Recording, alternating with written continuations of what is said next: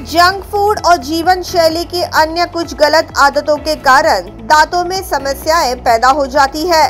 भोजन में चीनी अधिक होने से भी नई पीढ़ी में विशेष रूप से दांत प्रभावित हो रहे हैं। और इसी बात को ध्यान में रखते हुए कामधेनु ट्रस्ट के माध्यम से सौर ऊर्जा पर चलने वाले देश के पहले मोबाइल दंत रुग्णवाहिका का लोकार्पण साई डेंटल क्लिनिक के सहकार्य से विधायक गणेश नाइक के हाथों संपन्न हुआ।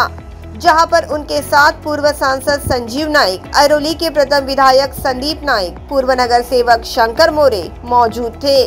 उद्घाटन के बाद मान्यवरों ने रुग्णवाहिका का जायजा लेकर संसाधनों की जानकारी दी।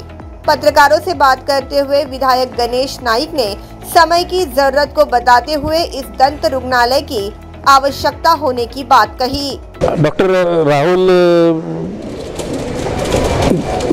ढाले आणि त्यांच्या सौभाग्यवतीचं पण डॉक्टरच आहेत. प्रशांत थोरात हे इथले नेत्रतज्ञ आहेत. खरं म्हणजे कोपरखरणे या नोडमध्ये प्रशांत थोरात डॉक्टर राहुल ढाले हे दोन एक प्रकारचे समाजाकरता मनशांती देण्याकरता निर्माण झालेले दूत आहे असं मी समजतो. आज राहुल ढालेंच्या दंतचिकित्सा सेंटरचं उद्घाटन झालं.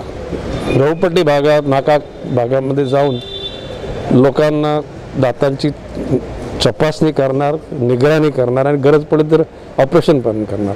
आणि अशा प्रकारचं ध्येयानं प्रेरित झालेलं हे डॉक्टर राहुल ढाळे आणि त्यांच्या सौभाग्यवती ढाळे यांच्या सगळ्या ह्या उपक्रमाला माझ्या हार्दिक शुभेच्छा. भविष्य काळामध्ये त्यांना यश, धवल मिळत राहील असा माझा विश्वास आहे.